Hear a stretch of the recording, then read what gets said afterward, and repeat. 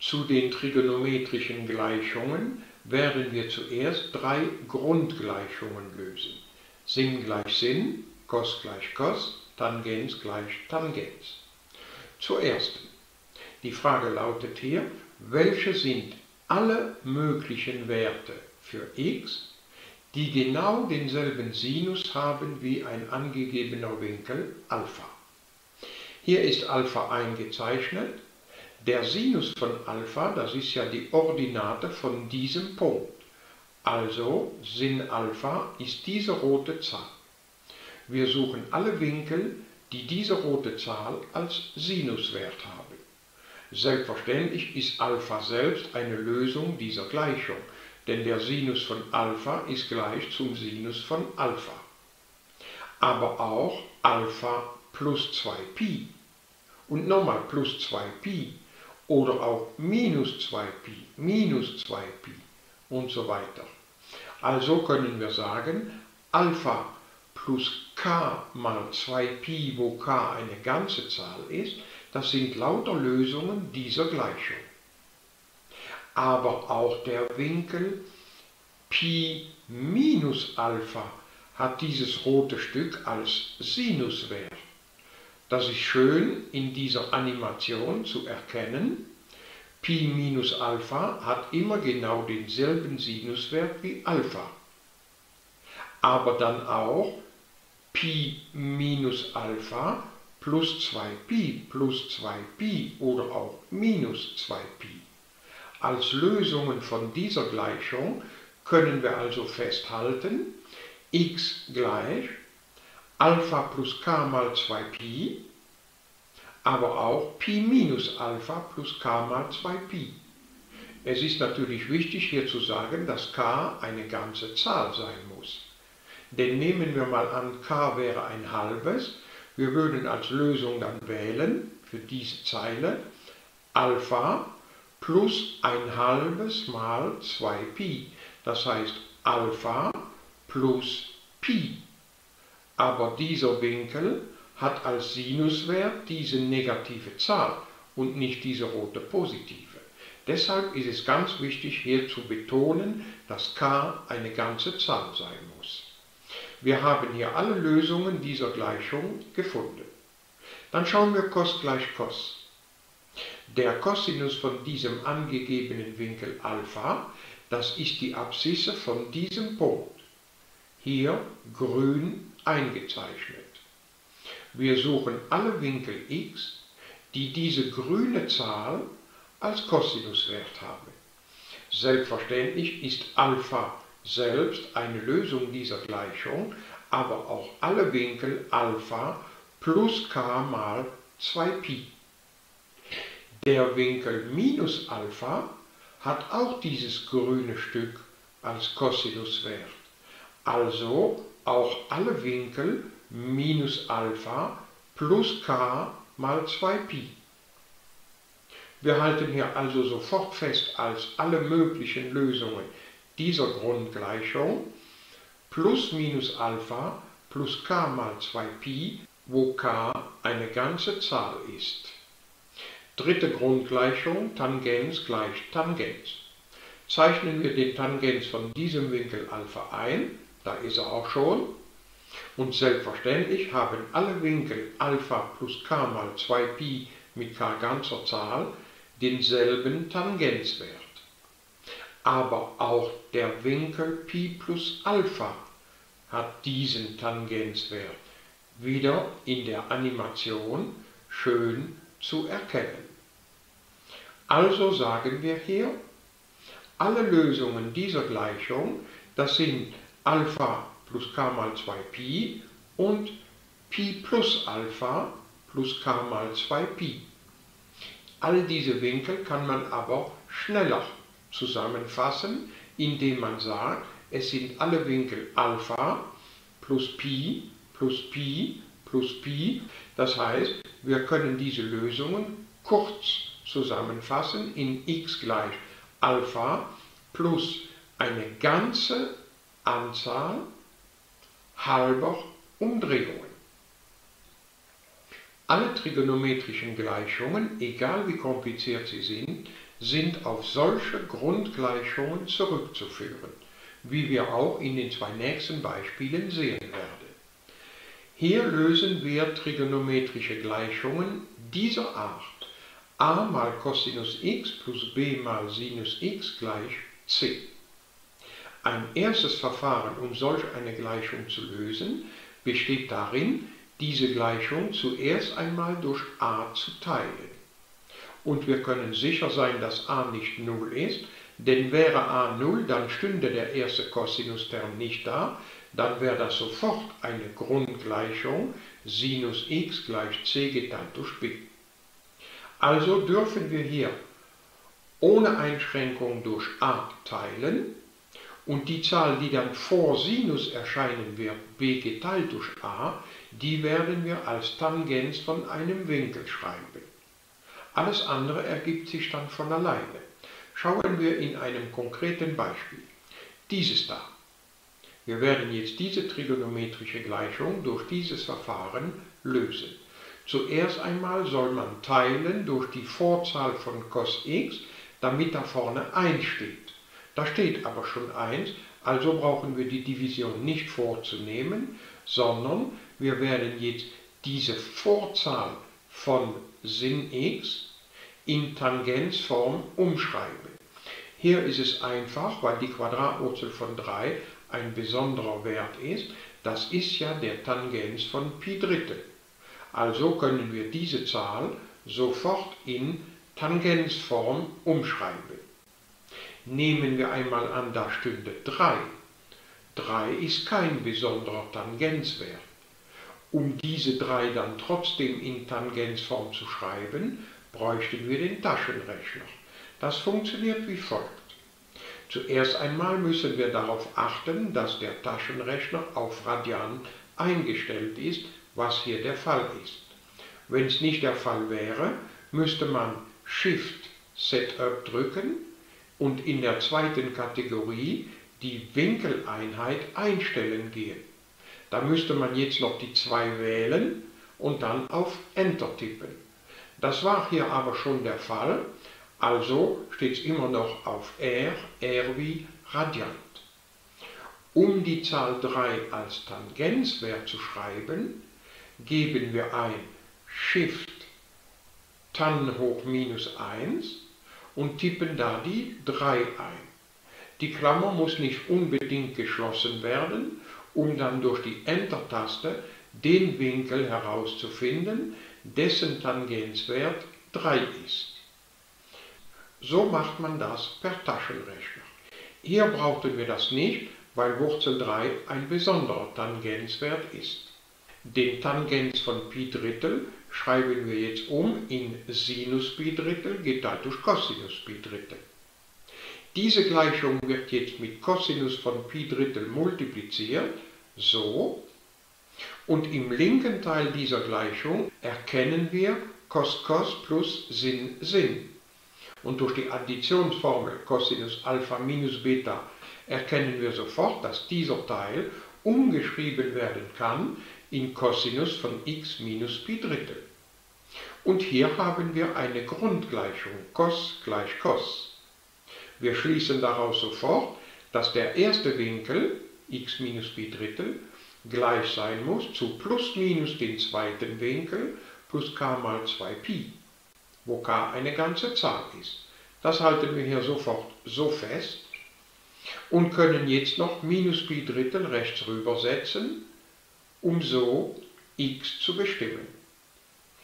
Rechnen wir mit Plus und setzen hier minus Pi Drittel rechts rüber, dann steht rechts Pi Drittel plus Pi Drittel, das heißt 2 Pi Drittel plus k mal 2pi.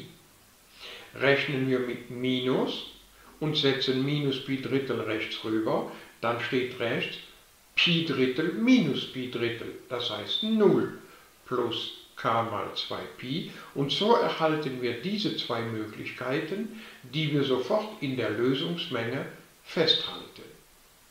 Wir haben diese trigonometrische Gleichung gelöst. Das zweite mögliche Verfahren besteht aus der Klein-t-Methode. Man stellt Tangens von x halbe gleich klein t, so dass man in der Gleichung Sinus x durch diesen Bruch ersetzen darf und Cosinus x durch diesen Bruch ersetzen darf. Nur müssen wir uns im Vorfeld vergewissern, dass diese Zahl x halbe nicht Pi halbe plus Kpi ist. Denn für Pi halbe plus Kpi gibt es diesen Tangenzwert nicht, das heißt für diese möglichen x halbe Werte gibt es klein t nicht und diese Lösungen würde man dann nicht durch dieses Verfahren finden können. x halbe darf also nicht Pi halbe plus Kpi sein, was dasselbe bedeutet wie x darf nicht Pi plus k mal 2Pi sein. Schauen wir im konkreten Beispiel, wir lösen jetzt durch das Klein-t-Verfahren genau dieselbe Gleichung wie eben, damit wir diese zwei Verfahren schön vergleichen können. Hier überprüfen wir zuerst, ob Pi plus k mal 2Pi nicht eventuell Lösungen dieser Gleichung sind. Ersetzen wir x durch Pi. Cosinus von Pi, das macht minus 1, Sinus von Pi, das macht 0, also steht hier links minus 1 plus Wurzel 3 mal 0, das macht minus 1 und nicht 1. Also sind diese x-Werte nicht Lösung dieser Gleichung. Das halten wir hier sofort fest. Wenn diese x-Werte die Gleichung doch erfüllt hätten, dann müssten wir die am Ende in der Lösungsmenge berücksichtigen, denn diese Lösungen würden wir durch das Klein-t-Verfahren nicht finden. Starten wir jetzt mit dem Klein-t-Verfahren, indem wir in dieser Gleichung Cosinus x ersetzen dürfen durch diesen Bruch und Sinus x durch diesen Bruch. Das führt dann zu dieser Gleichung, die wir sofort überall mit 1 plus t multiplizieren Jetzt setzen wir noch alles auf die linke Seite und so führt das zu einer Gleichung zweiten Grades. Wir werden die aber nicht mit der diskriminanten Delta lösen, denn wir können hier 2t ausklammern. Das führt dann einfacher zum Nullprodukt. Dieses Nullprodukt hat als zwei Lösungen 2t ist 0, also t ist 0, und t minus Wurzel 3 ist 0, also t gleich Wurzel 3. Aber nicht vergessen, nicht klein t wird gefragt, sondern x wird gefragt. Also sobald wir die klein t Lösungen gefunden haben, nicht vergessen, zurückzukehren zu x. Back to x, don't forget it. Wenn t gleich 0 ist, dann bedeutet das ja, dass Tangens von x halbe 0 ist. Das ist eine Grundgleichung, Tangens von x halbe gleich Tangens von 0. Diese Grundgleichung führt sofort zu diesen Lösungen. Die zweite Möglichkeit für t ist t gleich Wurzel 3. Wir kehren zurück zu x, indem wir t durch Tangens x halbe ersetzen. Das ergibt dann Tangens von x halbe gleich Wurzel 3. Wurzel 3, das ist der Tangens von Pi Drittel. Also haben wir hier die Grundgleichung Tangens von x halbe gleich Tangens von Pi Drittel.